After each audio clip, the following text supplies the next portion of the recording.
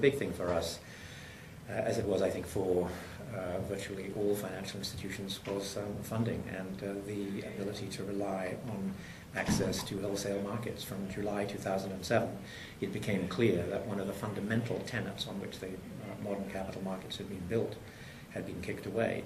That, that tenet being that if you had a, um, a very high quality credit instrument, uh, that, um, that it would be fundable, that it would remain liquid, you could repo it, and, and that you would always be able to find a buyer.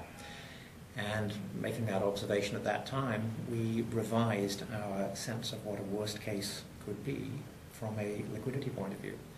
And that was quite a significant adjustment for us. We had mm-hmm. previously felt that some limited amount of access, continued access, even in a severe crisis, think certainly it, it, felt like a benefit to us to come from a relatively stable domestic market. So while our business is global, uh, something like half of our profits are still sourced in Australia, and, the relative stability of the Australian economy uh, was, uh, was probably helpful to us during the crisis. I think that's true. Yes, well, I think when, when market circumstances change, uh, it's incumbent upon uh, uh, people like ourselves to respond to that. So we responded relatively early. We uh, recognized that um, securitization uh, as an area, for example, had um, uh, essentially the securitization market closed down. in the absence of wanting to take on the resulting assets onto our own balance sheet, which was not appealing to us, um, we've therefore adapted our business and we therefore we've wound back our Australian mortgage business we exited a number of other businesses uh, during that period. Margin lending was not, not very uh, attractive business for us, and an Italian mortgage business that we sold. Um, you know, certain businesses became just vastly less attractive. Foreign exchange, on the whole, I think of it as a, uh, a well-functioning market in which um, it's a very liquid, well-functioning market in which, on the whole, I would expect big price moves uh, to be accommodated were they to happen. I'm not, not, not making a prediction there. Um, so I'm not, not especially worried about foreign exchange markets, I think, um, but, um, but I'm, I'm, I'm, often wrong.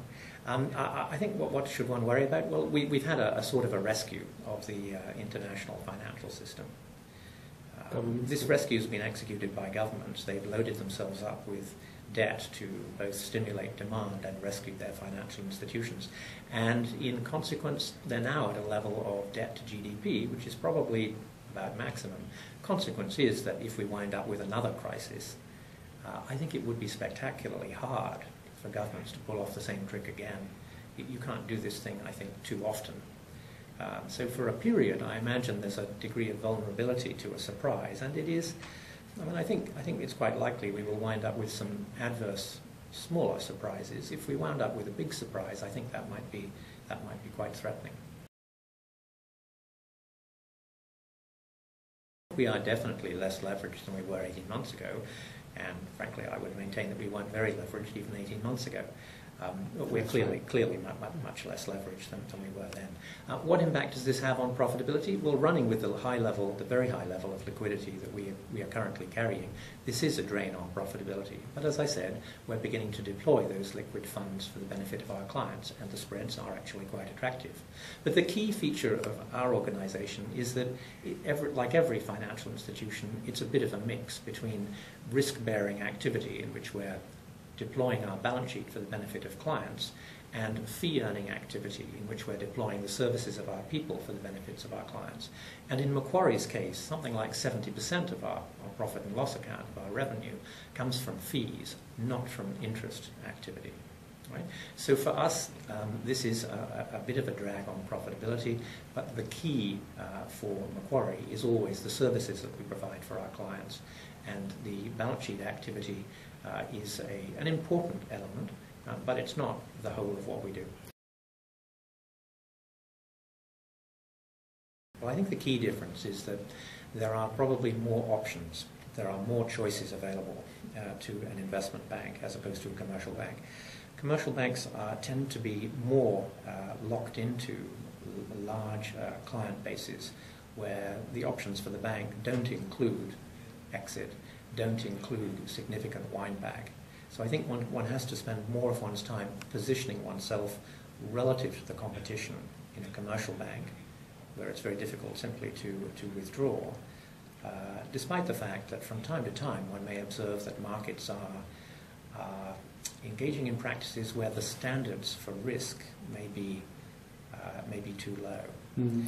Uh, if one's in an investment banking environment, uh, I guess at, at, one extreme, for example, in a trading activity, one could simply withdraw. It's not never that simple, but one can potentially, one has more options to, uh, to make choices about withdrawal, provided the market is liquid. But one should always have thought about that before one goes in. You should not, we, we would not seek to be engaged in any business where we have not thought about the possibility of not being successful in that business and therefore what it will feel like to have to withdraw.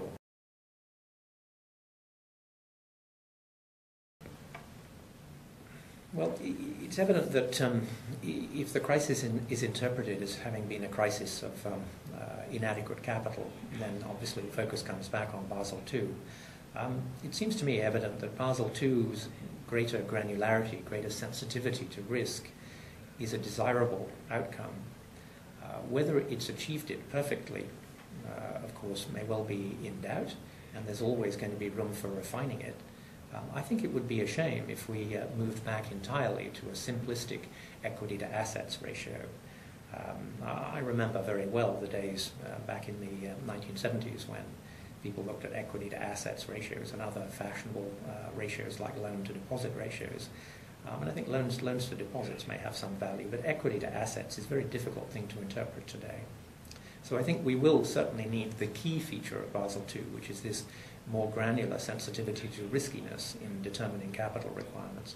So I would have thought that with um, some continuous process of adaptation, Basel II itself is probably quite a healthy development. Well, here in Australia, you have only to look at the, uh, the work schedule, which is quite an intensive work schedule selected by our regulator, APRA. And um, I mean, they're planning to make some uh, adjustments to uh, various of the capital aspects of Basel II. They're also planning a, uh, a major piece of work on, on liquidity. Uh, and this is in keeping with regulatory practice, I think, more or less everywhere. So I'm sure there'll be some changes in the uh, liquidity rules. I mean, one shouldn't underestimate, though, the impact on the whole economy of those changes. So you change the capital requirements, you change the liquidity requirements, you will have an impact on banks' propensity to lend and the amount which collectively within the whole system they're capable of lending. And that in turn obviously will have an impact on economic activity.